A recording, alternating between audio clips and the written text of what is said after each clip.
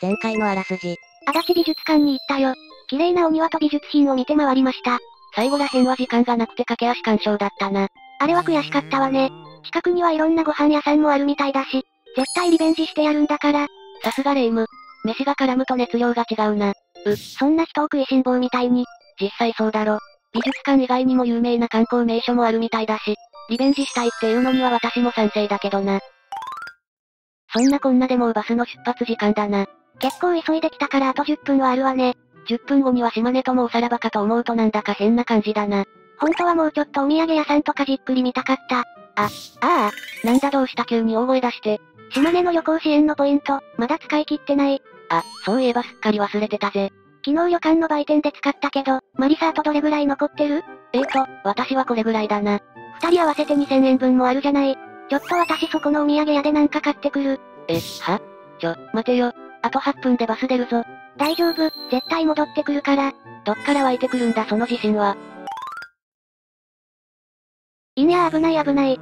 もうちょっとでポイントを無駄にするところだったわ。島根を出た瞬間ただの数字の羅列とかすからね。もうちょいマシな言い方はないのか。で、結局この短時間で何買ってきたんだ？いろいろよ。おまんじゅうとか定番品ばっかだけど。お、土壌すくいまんじゅうに、こっちは白ウサギのフィナンシェか。急いで買った割にはいいチョイスじゃないか。でしょう。誰かに渡すときも楽だし、ご包装だから今日のおやつにもいいかなって。で、その両手に抱えてるのはなんだ？ふっふっふ、やはり気づいちゃいますかマリサさん。じゃじゃーん、アイスクリームです。やっぱ売店に売ってるとどうしても買っちゃうのよね。ちゃんとマリサの分も買ってきてあるわよ。いや、それはありがたいんだけどさ。なんで3つ買ったん？い、いやー、これでちょうどポイント使い切れる計算だったのよね。いくら使い切りたいからって、バスがギリギリで、しかもこんな雨の中、アイス3つ買って走ってきたのかよ。シンプルにアホすぎん。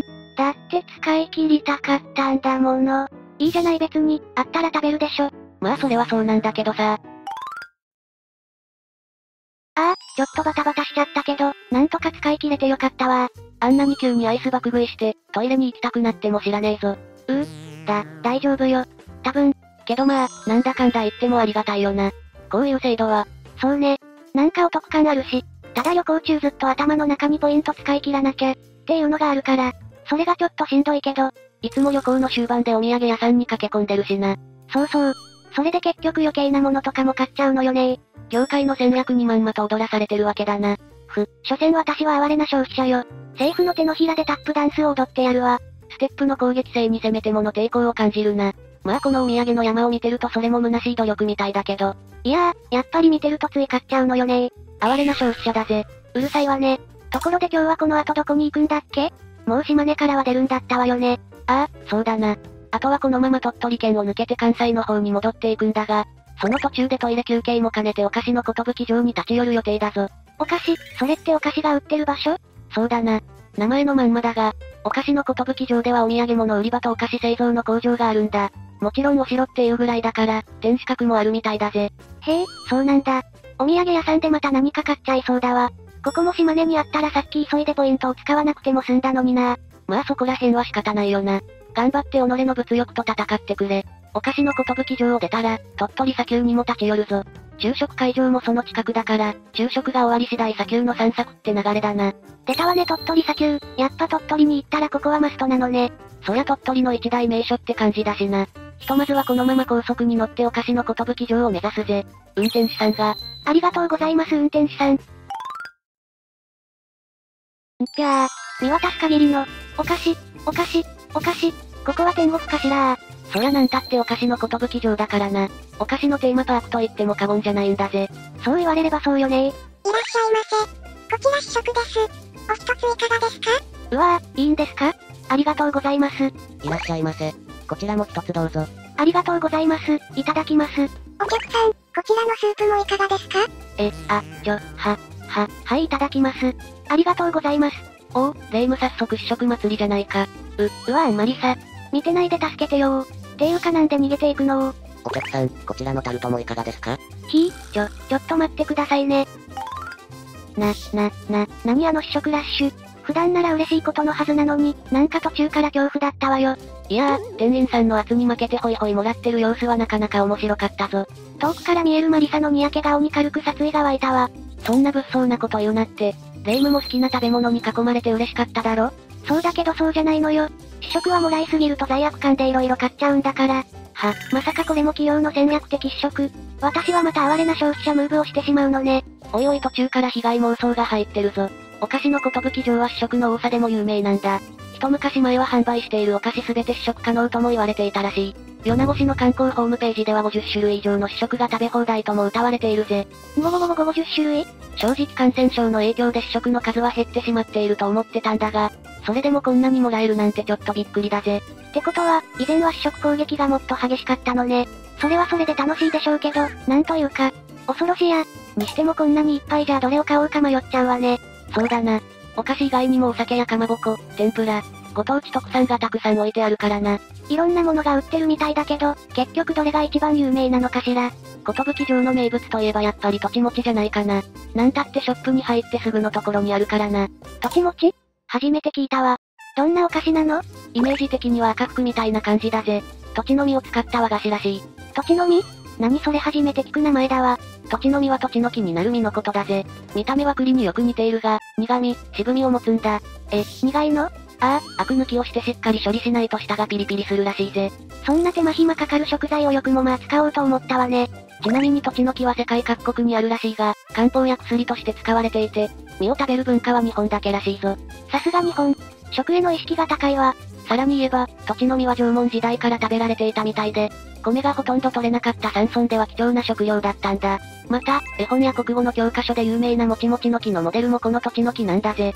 へえ、そうなんだ。もちもちの木とか懐かしいわね。小さい頃はあの切り絵みたいなイラストがなんだか怖かったのよね。さて、そんな土地の実で作られている土地餅には、赤と白の2種類があるんだが、その両方が全国菓子大博覧会で最高位賞の名誉総裁賞を受賞しているんだ。全国菓子大博覧会？そんな博覧会があるんだ。これは4年に一度開かれていて、お菓子のオリンピックとも言われているんだぜ。ええじゃあ土地餅はその博覧会の金メダリストってわけなのね。そういうことだな。例に漏れず、土地餅も試食があったし、気になるなら一つ買ってみるのもいいかもな。そういえばすっかり忘れてたけど、トイレ休憩に行かなきゃなのよね。お手洗いはどこかし？んねえねえマリサ、奥の方になんか大きい機械があるわよ。お、どうやら工場見学コーナーみたいだな。実際に店頭に並ぶ商品が作られるのをガラス越しに見学できるみたいだぜ。ほえー、すんごい。こういう工程って無心でずっと見てられちゃうわよねずっと眺めるのも結構だが、バスの時間があるんだから早めにトイレには行っとけよ。は、そうだった。危うく行きそびれるところだったわ。ちなみにトイレは階段を上がって2階だからな。あいあいさあ、あんなところに顔パネルが、あったらつい顔を入れたくなっちゃうのよねでもなんでこんなところにヒコニャンがいるのかしら。いやさすがにヒコニャンではないと思うぞ。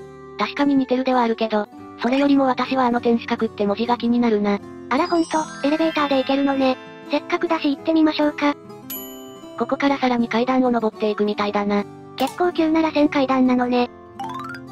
おお、なかなかの高さじゃない。ほんとだな。今日は曇っているが、晴れの日は景色も綺麗に見えそうだぜ。って、な、なにあの、お社？あそこだけ異様な空気を醸し出してるんだけど。わかる。なんかここだけ別空間だよな。まあせっかくだし、一丁金でもついときますか。せーの。うるさ、ちょっと力加減強すぎだろ。びっくりしたんだぜ。あはははごめんなさい。鳴らした私もびっくりしちゃったわ。窓からは日本海や大山が一望できるようだぜ。さっきまでいた足立美術館もここから見えるみたいね。昨日行った出雲大社や玉造温泉も見えるみたいだな。とは言っても小さすぎて、肉眼ではいまいちよくわからないんだぜ。そういえばなんでここってお城の形をしているのかしら？お菓子とはあまり関係なさそうよねお、いい質問だな。お菓子の寿城は、米子城をモデルにしているんだ。あら、実際にあったお城がモデルなのね。この米子城は大山、中野海、日本海、市街地など天守閣からの眺めが絶景で、日本最強の城スペシャル一度は行きたい絶景の城って番組で最強の城に選ばれたほどなんだぞ。ええー、すごい、それはぜひとも一度行ってみたいわ。残念ながら米子城そのものは明治時代に天守は取り壊されてしまい、現在は石垣だけが残っているんだ。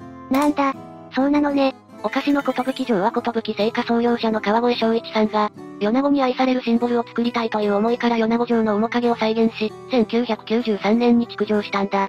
ちなみに天守閣の高さは27メートル、石垣は約6メートルあるんだぜ。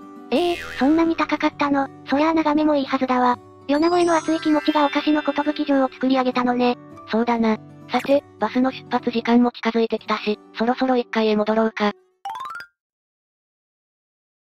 ねえねえマリサ、さっきは気づかなかったけど、こんなところにカフェがあったわ。ほんとだな。砂場コーヒーっていうのか。そういえば昔テレビで、鳥取県にはスターバックスはないって見たことあるんだけど、もしかしてそれと関係しているのかしら？どうやらそうみたいだな。砂場コーヒーは鳥取県知事の、鳥取にはスタバはないけど、日本一の砂場かっこ鳥取砂丘があるという発言をもとに、地元企業銀輪グループが開店したのが始まりみたいだぜ。え、そうなの？冗談で言ったつもりだったんだけど、本当に関係があったのね。この平井知事なんだが、どうやらダジャレやコスプレで鳥取県を PR しているんだ。その様子はバラエティ番組にも取り上げられてるぐらいなんだぜ。うわ、ほんとだ。ちょっと調べるだけでもいっぱい出てくるわね。ダジャレ知事の発言から、こんな立派なカフェができたなんて面白いわ。鳥取県のホームページでもこの流れを掲載していて、さらに好感が上がっちまったな。ちなみに今ではスタバも砂場コーヒーも複数店舗があるようだぜ。なるほどねていうかメニューめっちゃ美味しそうじゃないスタバよりもフードメニュー充実してそうだし、私的にはこっちの方が好きなんだけど、ほら、ホットサンドとかカレーとかがっつりご飯系から、パフェみたいなスイーツ系まであるのよ。しかも和洋二刀流。普通に美味しそうだし、なんなら私お昼ご飯ここで済ましちゃいたいわ。バカよな。お昼はお昼で会場があるし、なんならもう出発時間なんだから、早くバスに戻るぞ。うひーん。せっかく目の前に美味しそうなご飯があるのに、こんな思いをするのなら、いっそで会わなければよかったわ。昼ドラかよ。大げさだなうー、砂場砂場未練たらたらにも程があるだろ。